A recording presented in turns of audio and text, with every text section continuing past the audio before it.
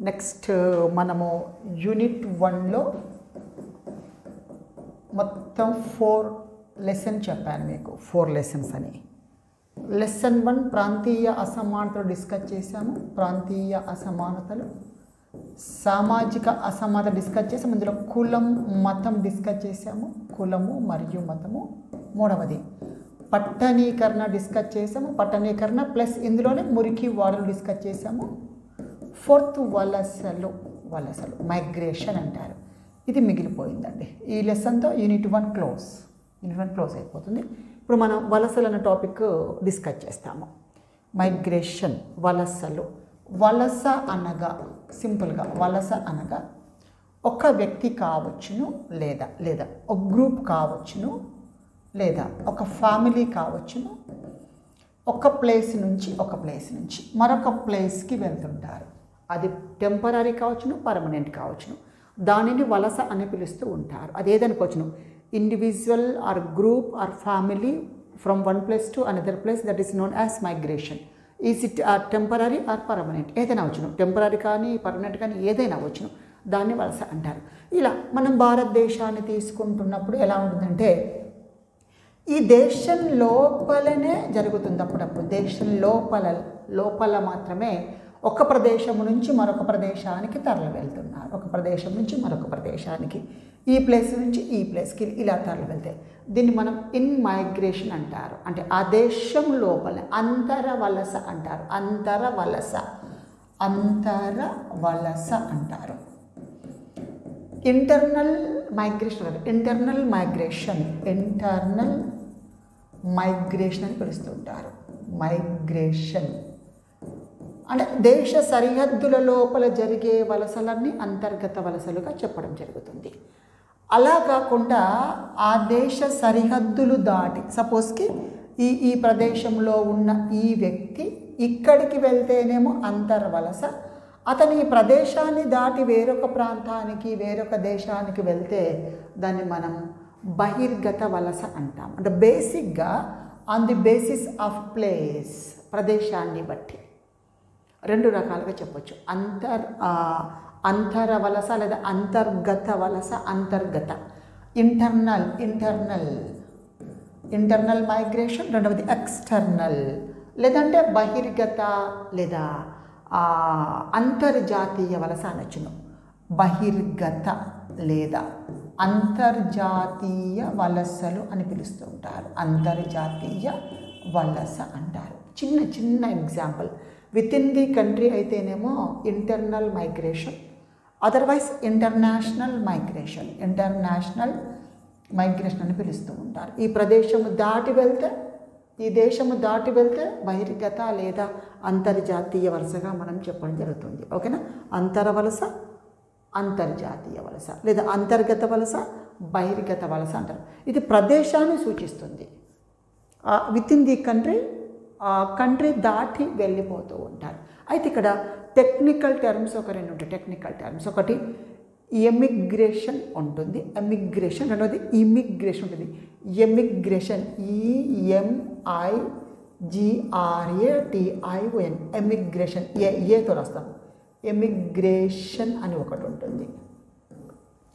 ఇక్కడ ఎమిగ్రేషన్ అంటే ఏమిటి అంటే ఎమిగ్రేషన్ అంటే ఈఎంఐ జిఆర్ఏ టిఐఓఎన్ ఎమిగ్రేషన్ అంటే ఒక ప్రదేశము నుంచి ఒక దేశము నుంచి ఇతర దేశాలకు వెళ్ళడం. ఒక దేశం నుంచి ఇతర దేశాలకు వలస వెళ్దని ఎమిగ్రేషన్ అని పిలుస్తూ ఉంటారు. ఇతర దేశానికి వెళ్తారండి. జస్ట్ లైక్ ఏంటి? ఇక్కడ మనకు ఇది ఇది బహిర్గత వలస ఉంది కదా అవ దాన్ని సూచిస్తుందన్నమాట. దాంట్లో పార్ట్గా చెప్పొచ్చు మళ్ళీ మనము. ఒక దేశము నుంచి ఇతర దేశాలకు వెళితే దాన్ని ఎమిగ్రేషన్ అని పిలుస్తుంటారు. స్పెల్ చూడండి. E M I G R A T I O N emigration రెండవది ఇమిగ్రేషన్ ఉంటుంది. I M M I G R A T I O N ఇది ఇమిగ్రేషన్ ఇమిగ్రేషన్ ఇక్కడ ఇమిగ్రేషన్ అంటే ఏంటి అంటే ఒక ప్రదేశము నుంచి ఒక ఒక దేశము నుంచి ఒక దేశము నుంచి. ఈ దేశానికి తరలి వస్తుందని మనం ఏమంటామంటే ఇమిగ్రేషన్ అని పిలుస్తుంటాం. ఇమిగ్రేషన్ వేరొక దేశము నుంచి మన దేశానికి వలస వచ్చారు. దాన్ని మనం ఇమిగ్రేషన్ అని పిలుస్తుంటాం వలస వస్తే. మరి ఆ దేశం నుంచి ఇతర దేశానికి వలసలు వెళ్ళారు. దాని పేరు ఎమిగ్రేషన్ కొద్దిగా టెక్నికల్ టర్మ్స్ గుర్తుంచుకోవాలి. దీన్ని ఈతో సూచిస్తాము ఈ ఈతో. కాకపోతే తెలుగులో ఎమిగ్రేషన్ ఎమిగ్రేషన్ బయటి దేశానికి వెళ్ళిపోవడం ఇతర దేశం నుంచి వస్తే ఇమిగ్రేషన్. ఐతో సూచిస్తాం ఈ ఈ ఇమిగ్రేషన్ అంటారు. ఇది కూడా వలసలు వెళ్ళడం వలసలు రావడం. దేశం వదిలి వెళ్ళడం. దేనికి సంబంధించింది? అంతర్జాతీయ అంతర్జాతీయ వలస చెప్తున్నప్పుడు అంతర్జాతీయ వలస చెప్తున్నప్పుడు ఒక ఆ దేశం నుంచి ఇతర దేశాలకు వెళితే ఏమంటారు? First one emigration. ఇతర దేశాల నుంచి ఆ దేశానికి వస్తే ఇమిగ్రేషన్ ఇమిగ్రేషన్. ఎమిగ్రేషన్ ఎమిగ్రేషన్ వలస వెళితే వస్తే ఇమిగ్రేషన్ ఇవన్నీ ఏంటి అంతర్జాతీయ లేదా బహిర్గత వలసలకు సంబంధించింది. మరి అంతర్గత లేదా అంతర్గత లేదా అంతర వలస లేదా ఇంటర్నల్ మైగ్రేషన్ తీసుకుంటే ఒక ప్రాంతంలో ఒకటే దేశం అంటే ఇక్కడ భారతదేశం తీసుకుంటే భారతదేశం తీసుకుంటే ఈ భారతదేశంలోనే ఇక్కడ భారతదేశంలోనే భారతదేశం తీసుకున్నాం ఈ దేశంలో. ఒక ఒక జమ్మూ కాశ్మీర్ జమ్మూ అండ్ కాశ్మీర్ జమ్మూ అండ్ కాశ్మీర్ అనుకోండి ఏదో- ఏదో ప్లేస్ అనుకోండి జమ్మూ అండ్ కాశ్మీర్. ఆ ప్రదేశము నుంచి జమ్మూ అండ్ కాశ్మీర్ అంటే ఒక దేశంలో ఒక భూభాగంలో ఒక సరిహద్దు లోపల ఒక ప్రదేశము నుంచి మరొక ప్రదేశానికి వెళితే దాని పేరు ఏమిటంటే ఇన్ మైగ్రేషన్ అంటారు. In migration. ఇక్కడేంటి? ఆ ప్రాంతము ఇన్ ఇన్ అంటే లోపలికి రావడం అంట ఇన్ లోపలికి రావడము. జమ్మూ కాశ్మీర్ నుంచి ఇతర ప్రాంతానికి వలస వెళ్ళారు. అలా సూచిస్తుంది. ఏదైనా ఒక ప్రత్యేక ప్రాంతానికి లేదా నూతన ప్రాంతానికి వలస వెళుతున్నాడు. వలసలు వెళ్తున్నారు. అవుట్ మైగ్రేషన్ అంటారు. జమ్మూ కాశ్మీర్ నుంచి మన దగ్గరికి వచ్చారు. ఇన్ మైగ్రేషన్ క్లారిటీగా మళ్ళీ ఒకసారి కన్ఫ్యూజ్ అవ్వదు జమ్మూ కాశ్మీర్ ప్రాంతం ఉంది కదా ఒక స్పెషలైజ్డ్ ప్రాంతం ఒక విధంగా ఇప్పుడు లేదనుకోండి గతంలో. ఆ ప్రాంతం నుంచి హైదరాబాద్కు ఒక వ్యక్తి వచ్చాడు. ఇది in migration within the country దేశం లోపలనే. సరిహద్దు దాటిపోవడం లేదు. మరి హైదరాబాదులో ఉన్న వ్యక్తి జమ్మూ కాశ్మీర్ ప్రాంతానికి లేదా ఒక నూతనమైన ప్రాంతానికి వెళ్ళాడు. అది అవుట్ మైగ్రేషన్ సేమ్ అండి సేమ్ ఇదే ఇదే కాన్సెప్ట్ ఇదేమో అంతర్జాతీయానికి ఇదేమో అంతర్గతకు వర్తిస్తుంది. ఓకేనా? ఒక ప్రాంతం నుంచి రాస్తాను. ఒక ప్రాంతం నుంచి ఒక ప్రాంతం నుంచి. మరొక ప్రాంతానికి మరొక ప్రాంతానికి వలసలు వెళుతుంటారు వస్తుంటారు. అలా వస్తే ఇన్ మైగ్రేషన్ వెళితే అవుట్ మైగ్రేషన్ క్లారిటీ వస్తే ఇన్ మైగ్రేషన్ వెళితే అవుట్ మైగ్రేషన్ ఎక్కడికి వెళ్తున్నారు? నూతనమైన ప్రదేశానికి. వెళితే అవుట్ మైగ్రేషన్ ఎక్కడ? దేశం లోపల దేశం లోపల. సార్ దేశాన్ని విడిచి వెళుతున్నారు? ఎస్ వస్తున్నారు. ఎస్ మరి దేశం విడిచి ఇతర దేశానికి వెళితే ఎమిగ్రేషన్ ఇతర దేశం నుంచి దేశానికి వస్తే ఇమిగ్రేషన్. ఒక ప్రాంతం నుంచి మరొక ప్రాంతానికి వెళుతున్నారు వస్తున్నారు. వస్తే ఇన్ మైగ్రేషన్ ఇన్ మైగ్రేషన్. వస్తే ఇన్ మైగ్రేషన్. వెళితే అవుట్ మైగ్రేషన్. కొద్ది కాదు చాలా ట్రిక్కీగా ఉంటుంది. ఎగ్జామ్లో క్వశ్చన్ అయినప్పుడు కూడా మీరు జాగ్రత్తగా ఆన్సర్ చేయాలి. ఎందుకంటే అది అంతే కదా. దాని సబ్జెక్టు నేచర్ అలాగా ఉంటుంది. రెండు చెప్పాను ఇక్కడ. ఏంటి? అంతరవలసలు అంటే ఏమిటి? ఫస్ట్ దేశం లోపల దేశం లోపల భూభాగం లోపల దేశ సరిహద్దుల లోపల ఒక ప్రాంతం నుంచి మరొక ప్రాంతానికి వెళ్ళడం రావడాన్ని అంతర వలస అంతర్గత వలస ఇంటర్నల్ మైగ్రేషన్ అని పిలవడం జరుగుతుంది. అలా ఒక ప్రాంతానికి వస్తే ఇన్ మైగ్రేషన్ వెళితే అవుట్ మైగ్రేషన్ ఎక్కడా? దేశంలో.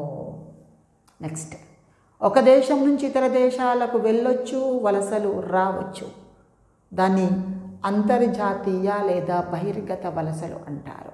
ఇలా భారతదేశం నుంచి కానీ ఒక దేశం నుంచి కానీ ఇతర దేశాలకు వెళ్తే ఎమిగ్రేషన్ మరి ఆ దేశానికి వలసలు వస్తే ఇమిగ్రేషన్ ఈ విధంగా వలసలను మనం చెప్పడం జరుగుతూ ఉంటుంది.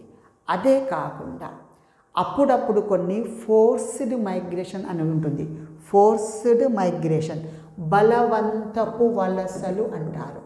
బలవంతపు వలసలు అంటారు. ఫోర్స్డ్ మైగ్రేషన్ అని ఉంటుంది. ఇక్కడ బలవంతపు వలసలు అంటే ఏంటి అంటే కొన్ని సందర్భాలలో కొన్ని రకాల అంశాలు పరిస్థితులు వాలంటరీగా ఇన్వాలంటరీగా ఫోర్స్ చేస్తుంటాయన్నమాట ఎక్కడికి? ఆ ప్రాంతం నుంచి వదిలి వెళ్ళడానికి ఫోర్స్ చేస్తుంటాయి. ఎగ్జాంపుల్ మతపరమైన విఘాతాలు తెగపరమైన విధా వి- తెర తెగ తెగ మతము తెగము తెగ కులము జాతి ఇలాంటి పరమైన వివాదాలు నెలకొన్నప్పుడు అక్కడ ఆ ప్రాంతంలో ఆ ప్రజలు జీవించడానికి అవకాశం లేనప్పుడు పరిస్థితులు ప్రతికూలంగా ఉన్నప్పుడు బలవంతంగా వలస వెళుతూ ఉంటారు. దాన్ని మనం బలవంతపు వలసలు అనొచ్చును ఫోర్స్డ్ మైగ్రేషన్ అని పిలవచ్చును ఫోర్స్డ్ మైగ్రేషన్ అని పిలవచ్చును ఇన్వాలంటరీ మైగ్రేషన్ అవుతుంది ఇన్వాలంటరీ ఇన్వాలంటరీ మైగ్రేషన్ పిలవచ్చును. సపోజ్ ఆఫ్ఘనిస్తాన్ తాలిబన్లు ఆక్రమించారు. ఆ ఆఫ్ఘనిస్తాన్లో జీవిస్తూ ఆఫ్ఘనిస్తానీయులై ఉండి పుట్టినప్పటి నుంచి అక్కడే ఉండే వారు ఇప్పుడు ఏం చేస్తారు వారంతటా వారు ఫోర్స్ చేయబడుతున్నారు ఫోర్స్ చేయబడుతున్నారు. ఏ ఎలా ఫోర్స్ చేస్తున్నారు? అక్కడున్న పరిస్థితులన్నీ ప్రతికూలంగా మారిపోయాయి.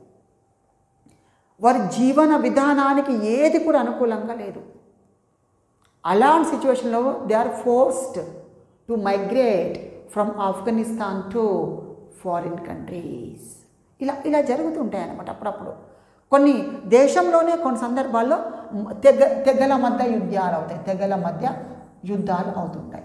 ఎక్స్ అండ్ వై అనే రెండు తెగలు ఉంటే రెండు- తెగల మధ్య యుద్ధాలు అయినప్పుడు ఒక తెగ బలంగా ఉంటుంది మరొక తెగ బలహీనంగా ఉందనుకోండి ఆ బలహీనం ఉన్న తెగ వేరే ప్రాంతానికి వలస వెళ్తారు.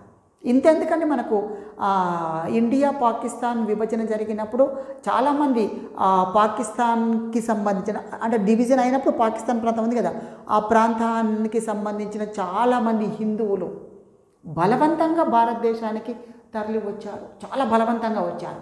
అగో అలాంటివి. అంటే జీవించడానికి పరిస్థితులు అనుకూలంగా ఉండవు ప్రతికూలంగా ఉంటాయి. అలాంటి సందర్భంలో ఇన్వాలంటరీగా స్వచ్ఛందంగా కాదు చాలా బలవంతంగా ఇష్టం ఉండదు. కానీ అయినప్పటికీ కూడా అక్కడ ఉన్న సిచ్యువేషన్కి అనుగుణంగా కొంతమంది వలసలు వెళుతుంటారు అలాంటి దాన్ని మనం ఏమంటామంటే బలవంతపు వలసలు అంటాం. ఇంగ్లీష్లో ఫోర్స్డ్ మైగ్రేషన్ లేదా ఇన్వాలంటరీ మైగ్రేషన్ అని పిలుస్తుంటారు. దీన్ని టెక్నికల్గా పాపులేషన్ ట్రాన్స్ఫర్ అంటారు. పాపులేషన్ ట్రాన్స్ఫర్ అని పిలవడం జరుగుతుంది. పాపులేషన్ ట్రాన్స్ఫర్ అంటారు. ఒక ప్రదేశం నుంచి మరొక ప్రదేశానికి వలసలు వెళ్ళడం జరుగుతూ ఉంటుంది. ఇగో ఇది బలవంత వలసలు ప్రజెంట్ మంచి ఎగ్జాంపుల్ ఆఫ్ఘనిస్తాన్. ఇంకేం లేదు. ఇప్పుడు ఆఫ్ఘనిస్తాన్లో ఉన్నారనుకోండి చంపేస్తారు తాలిబన్స్. ఏం చేసినప్పుడు వాడు? వలసలు వెళ్ళాలి. స్వచ్ఛందంగా కాదు తప్పనిసరి పరిస్థితిలో forced to migrate from Bangla from Afghanistan to foreign countries ఇగో ఇది అండి.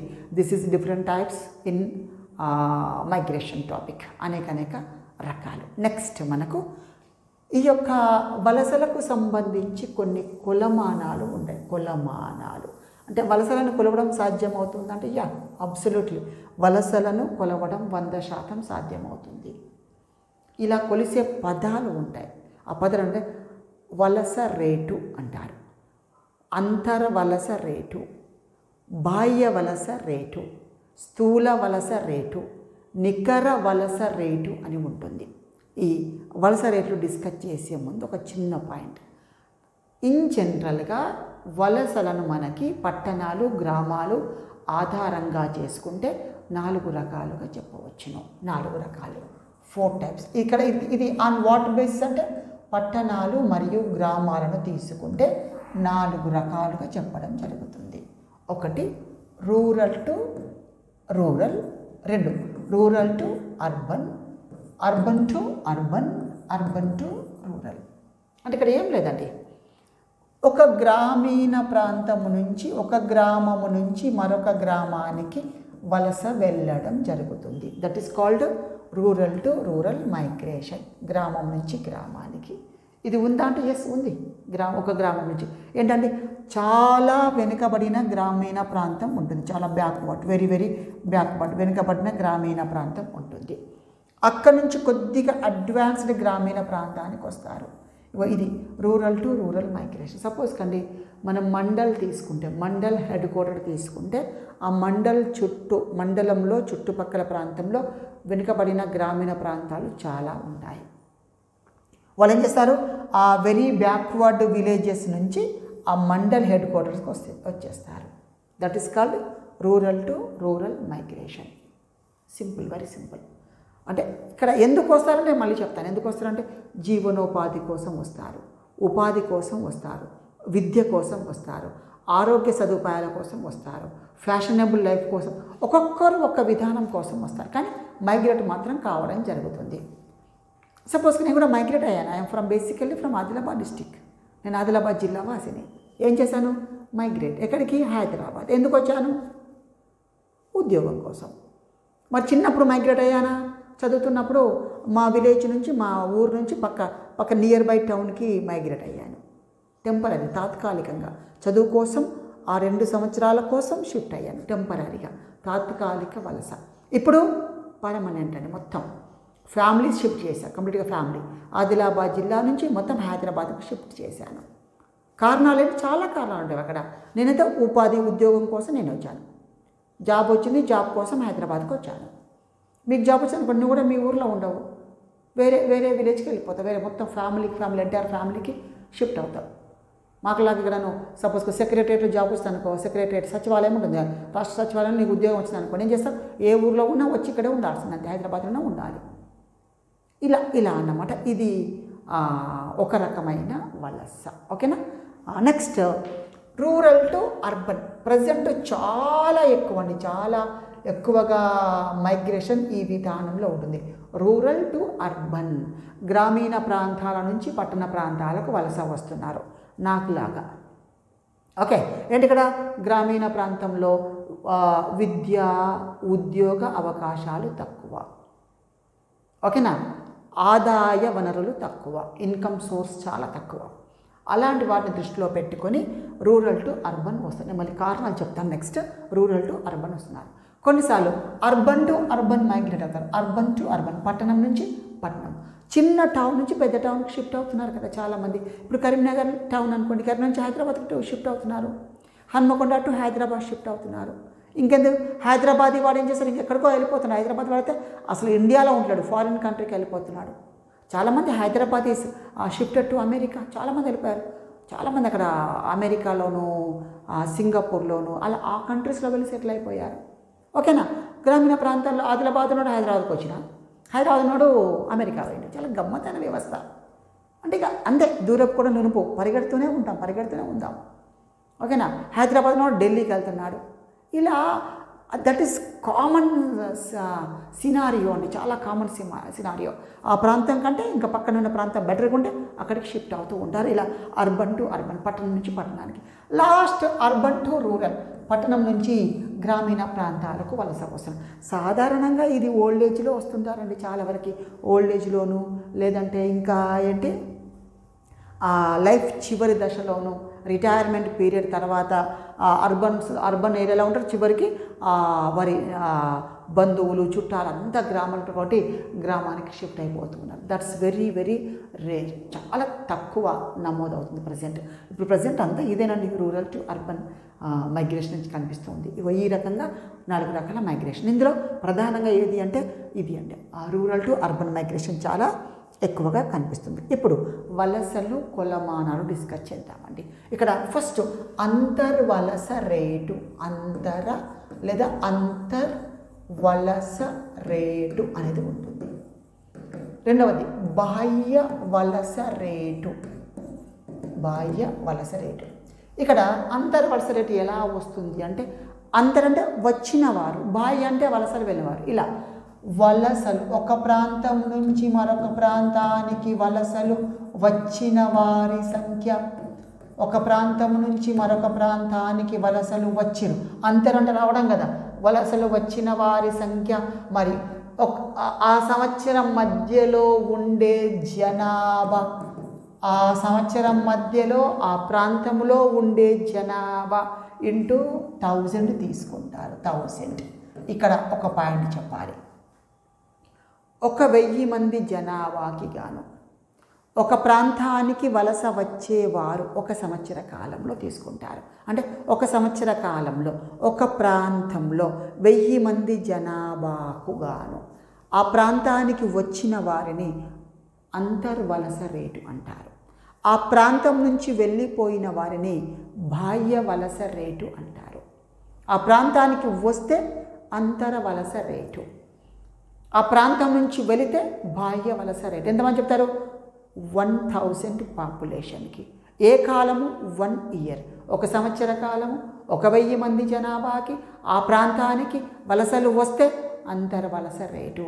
వలసలు వెళితే బాహ్య వలస రేటు అంటారు. చూడండి. బాహ్య వలస రేటు ఈక్వల్స్ టు వలసలు వెళ్ళిన వారు ఆ ప్రాంతము నుంచి ఆ ప్రాంతము నుంచి వలసలు వెళ్ళిన వారి సంఖ్య డివైడెడ్ బై ఆ ప్రాంతంలో ఆ సంవత్సరంలో ఆ ప్రాంతం మధ్యలో సారీ ఆ ప్రాంతంలో ఆ సంవత్సరం మధ్యలో ఉండే జనాభా ఇంటూ థౌజండ్ తీసుకుంటారు. ఇంటూ వన్ థౌజండ్ తీసుకుంటారు. అప్పుడు వస్తుంది మనకి బాహ్య వలస రేటు వస్తుంది. వలసలు వచ్చిన వారు తీసుకుంటే అంతర వలస వలస వెళ్ళిన వారు తీసుకుంటే బాహ్య వలస. ఏ కాలము? వన్ ఇయర్ కాలము. ఎంత జనాభాకి? వెయ్యి జనాభాకి. ఆ ప్రాంతానికి వస్తే అంతర వెళ్ళిపోతే బాహ్య అని పిలుస్తుంటారు. One two. తర్వాత త్రీ థర్డ్ వన్ తీసుకుందామంటే థర్డ్ మూడవ తీసుకుంటే. ఆ స్థూల వలస రేటు అని ఉంటుంది. స్థూల వలస రేటు. గ్రాస్ మైగ్రేషన్ రేట్ అని ఉంటుంది. ఇలా. స్థూల అంటే మొత్తం చూపిస్తుంది. స్థూల అంటే మొత్తాన్ని సూచిస్తే స్థూల. ఇలా వలసలు వలసలు వచ్చిన వారు వచ్చిన వారి సంఖ్య మైనస్ మైనస్ వలసలు వచ్చిన వారి సంఖ్య మైనస్ వలసలు వెళ్ళిన వారి సంఖ్య వెళ్ళిన వారి సంఖ్య డివైడెడ్ బై సంవత్సరం మధ్యలో ఉండే జనాభా సంవత్సరం మధ్యలో ఉండే జనాభా ఇంటూ వన్ థౌజండ్ తీసుకుంటారు. సపోజ్కి ప్లస్ అండి ఇది ప్లస్ ఇది ప్లస్. దాని ఏమంటారు? అంతర్వలస రేటు అంటారు. సపోజ్కి ఒక ప్రాంతానికి ఒక ప్రాంతానికి ఒక సంవత్సర కాలంలో వంద మంది జనాభా వలస వచ్చారు వలస వెళ్ళిన వారు ఒక యాభై మంది ఉన్నారు. వలస వెళ్ళిన వారు యాభై మంది వచ్చిన వారు వంద మంది. రెండో తీసుకుంటారు వన్ ఫిఫ్టీ తీసుకుంటారు రెండు తీసుకుంటారు. ఇలా తీసుకున్నప్పుడు ఏమవుతుంది దాని పేరు స్థూల వలస రేటు అంటారు. నాలుగవది నికర వలస rate net net migration rate అంటారు. ఈ స్థూలకి నికరకు తేడా ఏంటంటే మైనస్ తీసుకుంటాం. ఇక్కడ మైనస్ సేమ్ ఇది సేమ్ అలాగే ఉంటుంది. వలసలు వచ్చిన వారు సంఖ్య మైనస్ వలసలు వెళ్ళిన వారి సంఖ్య డివైడెడ్ బై సంవత్సరం మధ్యలో జనాభా ఇంటూ వన్ థౌజండ్ తీసుకుంటారు. చిన్న చిన్న పాయింట్ ఇగో మైనస్ తీసుకుంటేనేమో ప్లస్ తీసుకుంటేనేమో స్థూల వలస రేటు మైనస్ చేస్తేనేమో నికర వలస రేటు. ఒక ప్రాంతములో వచ్చినవారు వెళ్ళినవారు మొత్తాన్ని పరిగణించి లెక్కిస్తే స్థూల వలస రేటు అంటారు. ఆ ప్రాంతంలో అప్పుడు ఉన్న వారిని మాత్రమే తీసుకుంటారు.